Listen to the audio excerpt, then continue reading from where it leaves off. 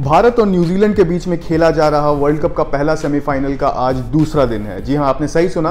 One day match में भी दूसरा दिन, ऐसा इसलिए क्योंकि कल शाम के करीब साढ़े छः बजे, इंडियन टाइम साढ़े छः बजे बारिश ने मैच को रोक दिया और न्यूजीलैंड उस वक्त छियालीस दशमलव एक ओवर में 211 पे पाँच के स्कोर पे थी।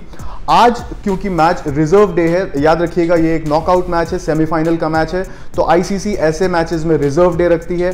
आज वो रिज़र्व डे है और आज मैच उसी स्कोर से शुरू होगा। तो न्यूजीलैंड पहले अपने 23 बॉल खेलेगी इनिंग्स के बाकी 23 बॉल और उसके बाद भारत अपनी पारी खेलेगा। हालाँकि अगर बारिश होती है, और ऐसा हो सकता है, क्योंकि आज भी मैनचेस्टर में बारिश की संभावना है, अगर बारिश होती है तो फिर डकवर्थ लुइस मेथड एप्लीकेबल हो जाएगा। डकवर्थ लुइस मेथड के अंतर्गत मैच को खेला जाएगा। लेकिन भारत को कम से कम 20 ओवर खेलने होंगे अगर एक पूरा मैच कंप्लीट करना है तो। अगर बारिश की वजह से भारत अपने 20 ओवर भी नहीं खेल पाती है तो फिर भारत फाइनल में चला जाएगा, ऐसा इसलिए क्योंकि ग्रुप स्टेज में, लीग स्टेज में भारत ने ग्रुप स्टैंडिंग के में सबसे ऊँचे पायदान पे खत्म किया था।